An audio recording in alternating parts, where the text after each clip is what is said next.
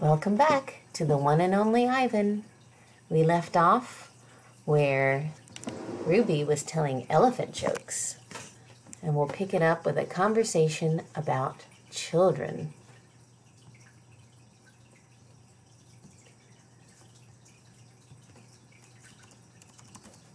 Once I asked Stella if she'd ever had any babies. She shook her head. I never had the opportunity. You would have made a great mother, I told her. Thank you, Ivan, Stella said, clearly pleased. I like to think so. Having young ones is a big responsibility. You have to teach them how to take mud baths, of course. My cat has joined us. And emphasize the importance of fiber in their diet. She looked away, contemplating.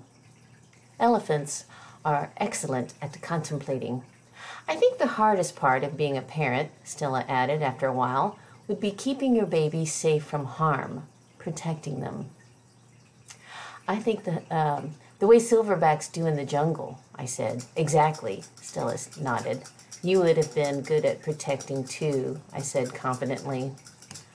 I'm not so sure, Stella said, gazing at the iron bars surrounding her. I'm not sure at all. The parking lot. Mac and George are chatting while George cleans one of my windows.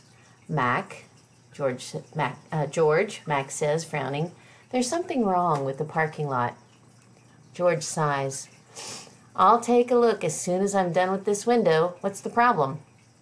There are cars in it. That's what's wrong.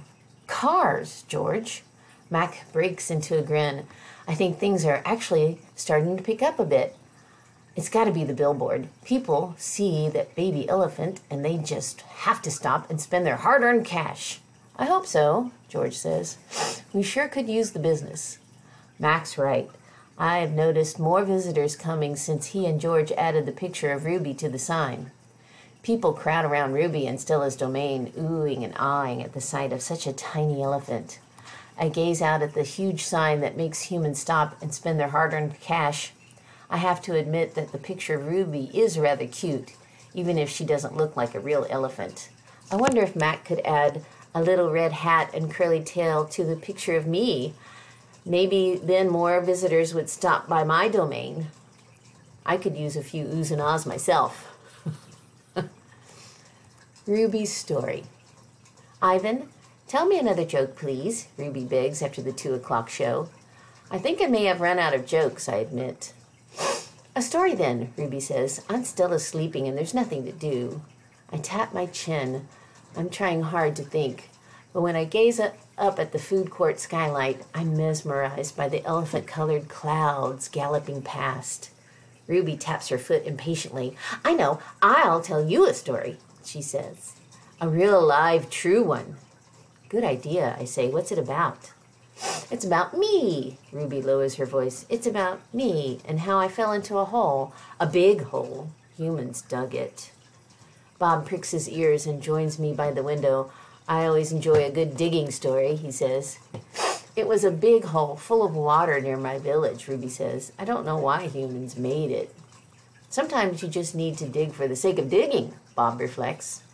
We were looking for food, Ruby says, my family and I. But I wandered off and I got lost and went too close to the village. Ruby's eye, uh, Ruby looks at me, eyes wide.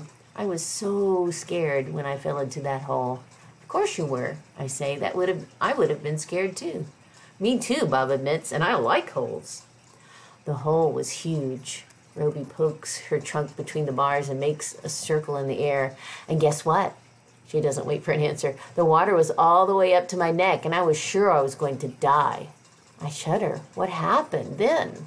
I asked. I'll tell you what happened, Bob said darkly. They captured her and put her in a box and shipped her off, and here she is. Here she is. Just like they did with Stella. He pauses to scratch an ear. Humans. Rats have bigger hearts. Roaches, roaches have kinder souls. Flies have. No, Bob, inter- Ruby interrupts me. You're wrong. These humans helped me. When they saw I was trapped, they grabbed ropes and made loops around my neck and my tummy. The whole entire village helped. even little kids and grandmas and grandpas, and they pulled and pulled, and Ruby stops. Her lashes are wet. I know she must be remembering all the terrible feelings from that day. And they saved me, she finished in a whisper. Bob blinks. They saved you? He repeats. When I was finally out, everyone cheered, Ruby said, and the children fed me fruit. Then all those humans led me back to my family. It took the whole day to find them. No way, Bob says, still doubtful. It's true, Ruby says, every word. Of course it's true, I say. I've heard rescue stories like that before. Estella's voice. She sounds weary. Slowly, she makes her way over to, to Ruby. Humans can surprise you sometimes.